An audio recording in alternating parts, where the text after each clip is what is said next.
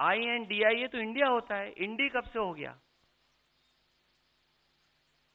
यहाँ से सफाया होगा गाजीपुर तक। जो चौदह में आए थे वो चौबीस में चले जाएँगे और यूपी वाले स्वागत भी अच्छा करते हैं और इस बार तो ढोल नगाड़ा और सब कुछ की तैयारी है। इस बार विदाई भी बहुत शानदार होने जा रही है। टाइम्स नव भारत रंजीता अखिलेश जी से। तो आपने आपने जो गरीबी को एक झट में रामनवमी की आप सबको देश को बहुत बहुत शुभकामनाएँ। ये चुनाव विचारधारा का चुनाव है।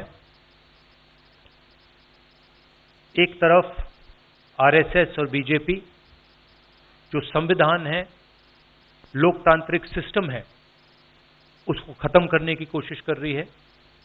और दूसरी तरफ़ इंडिया गठबंधन, कांग्रेस पार्टी, संविधान को, लोकतंत्र को डिफेंड करने की कोशिश कर रही है, उसकी रक्षा कर रही है।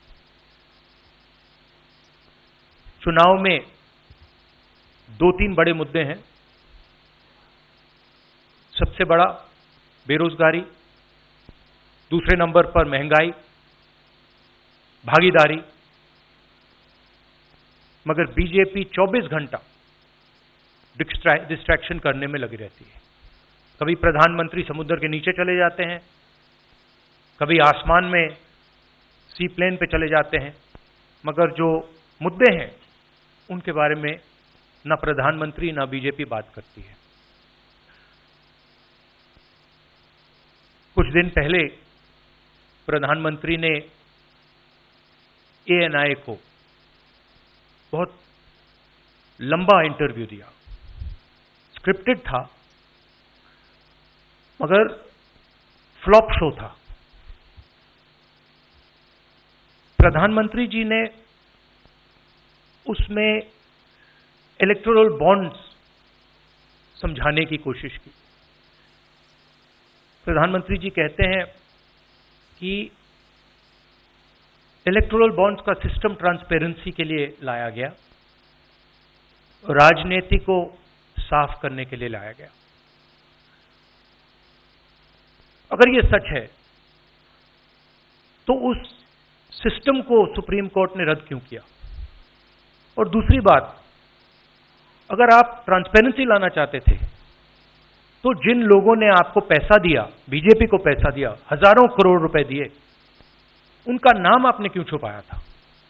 और जिन तारीखों पे उन्होंने आपको पैसा दिया, उसको आपने क्यों छुपाया था? पता लगता है, हज़ारों करोड़ रुपए का कॉन्ट्रैक्ट किसी कंपनी को मिलता है, उसके एकदम बाद वो कंपनी बीजेपी को पैसा देती है। सीबीआई की इंक्वायरी होती है ईडी की ईडी की इंक्वायरी होती है किसी कंपनी पर, शुरू होती है। उसके 10-15 दिन बाद कंपनी करोड़ों रुपए बीजेपी को देती है और फिर सीबीआई की इंक्वायरी ईडी की इंक्वायरी बंद हो जाती है। सड़क पे इसको एक्सटोर्शन कहते हैं। एक्सटोर्शन कहते हैं सड़क पे। तो ये जो है इलेक्टोरल बॉन्ड का जो स्कीम है, ये दुनिया का सबसे बड़ा एक्सटोर्शन का स्कीम है। हिंदुस्तान के सारे के सारे बिजनेसमैन इस बात को समझते हैं जानते हैं। और प्रधानमंत्री जितनी भी सफ़ाई देना चाहें कोई फ़र्क नहीं पड़ना पड़ने वाला है क्योंकि पूरा देश जानता है कि प्रधानमंत्री भ्रष्टाचार के चैंपियन है। धन्यवाद। शुक्रिया राहुल जी। अच्छा एक और बात।